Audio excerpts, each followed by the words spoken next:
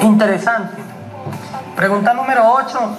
¿Qué capacidad tenía el mar fundido del templo de Salomón? El relato de Primero de Reyes 7.26 dice que el mar contenía 2.000 medidas de vato, mientras que el relato paralelo de Segunda de Crónicas, capítulo 4, versículo 5, menciona que contenía 3.000 medidas de vato. ¿Cuál será la, la realidad? Bueno, lo que pasa es que eh, hay que ir a una versión original o una copia más antigua como hemos hecho anteriormente para resolver estos casos, ¿verdad? Porque posiblemente sea una traducción, un error de traducción y para eso hay que ir a una versión interlineal bíblica.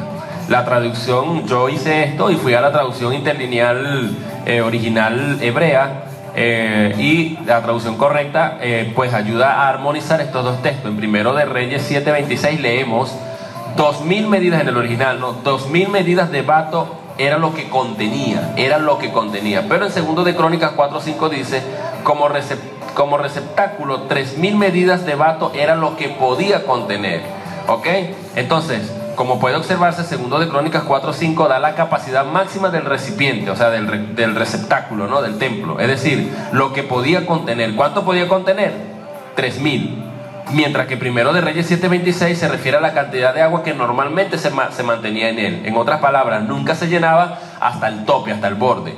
Parece que las costumbres eran llenarlo hasta dos tercios de su capacidad. ¿Qué quiere decir? O sea, es como cuando tú tienes un, pipote de agua, tú no lo llenas hasta, hasta el tope, porque cuando tú vas a meter una, una, una cubeta o algo, se derrama el agua, se, se desborda por el, por, el, por el peso, ¿verdad? Que le estás, eh, estás implica, aplicando a esa agua. Por tanto, ese receptáculo de, de, de, Salomón que aparece allí este, eh, tenía la capacidad de recibir eh, 3.000 vatos, pero bueno, eh, siempre se llenaba, o el rey había dado la orden de que se llenara solamente este, hasta 2.000, ¿ok? Para que no se derramara a la hora de que alguien tocara el agua o cualquier otra cosa, ¿verdad? Entonces, así se puede entender si uno va a la, a la versión interlineal hebrea o griega, ¿ok? Eh, de la, o a la vulgata latina, por ejemplo, ¿ok? La vulgata latina no, perdón, a la, a la, Septuaginta, que es la versión griega, ¿ok?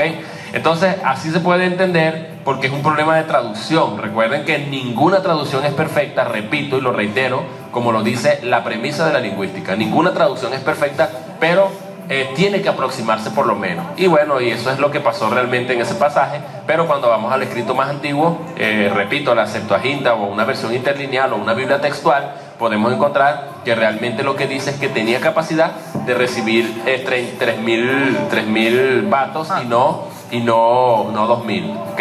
Pero se mantenía siempre en 2.000, eh, con 2.000 vatos solamente, ¿ok?